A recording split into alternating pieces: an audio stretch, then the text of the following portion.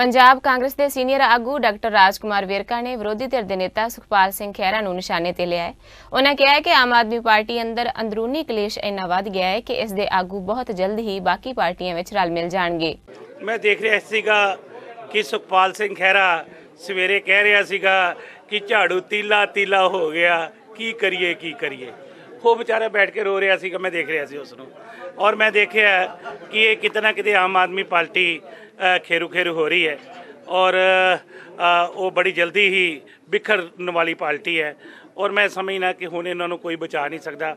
ਔਰ ਇਹ ਪਾਰਟੀ ਬੜੀ ਜਲਦੀ ਹੀ ਵਿਖਰ ਕੇ ਇਹ ਵੱਖ-ਵੱਖ ਪਾਰਟੀਆਂ 'ਚ ਸ਼ਾਮਲ